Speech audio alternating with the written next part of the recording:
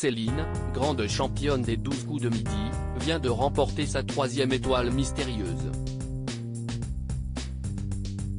Pour Télé Loisirs, elle a accordé sa réaction à cette belle nouvelle découverte. Enfin. Après une semaine marquée par de très nombreuses mauvaises propositions, Céline vient de remporter une nouvelle vitrine dans les 12 coups de midi ce mardi 23 mai, d'une valeur de 37 236 euros. Sa cagnotte totale s'élève donc désormais à 315 718 euros de gains et de cadeaux. Déjà détentrice de deux étoiles mystérieuses, la maître de midi, présente dans le jeu de TF1 depuis le 14 mars, continue sa route dorée avec cette découverte d'une troisième étoile. Pour Télé Loisirs, la concurrente star de Jean-Luc Reichmann a donné sa première réaction à sa nouvelle découverte de la personnalité cachée derrière la fresque du jeu de la Une.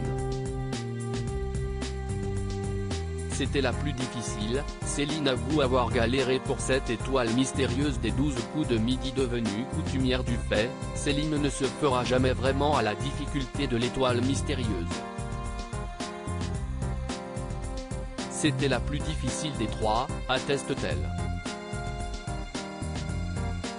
Pourtant, dans sa quête de sa première vitrine, la découverte d'Albert Dupontel, caché derrière les cases, lui avait donné du mal. Pour lui, j'ai eu du mal à cause de la règle du jeu, mais j'avais assez vite remis les indices ensemble, nuance-t-elle. Rien à voir avec cette échéance, si l'on en croit ses paroles. Pour Léa Drucker, je n'arrivais pas à la relier aux indices.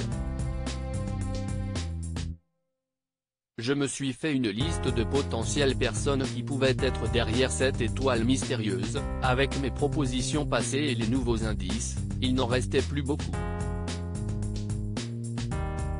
Malgré tout, je n'arrivais pas à trouver.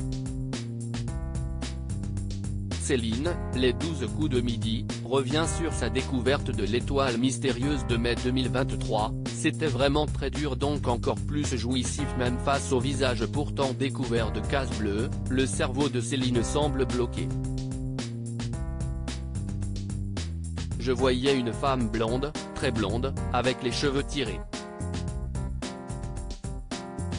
Je ne savais même pas si c'était une vraie blonde, témoigne-t-elle. Les indices la perdent.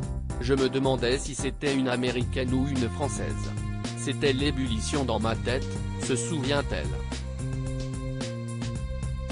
Et dans son désarroi, elle ne peut pas vraiment compter sur l'aide de son compagnon Jérôme. On ne voit rien en visioconférence, précise-t-il. Fort heureusement pour elle, elle a fini par citer le bon nom, pour sa plus grande joie. C'était vraiment très dur donc encore plus jouissif, conclut-elle.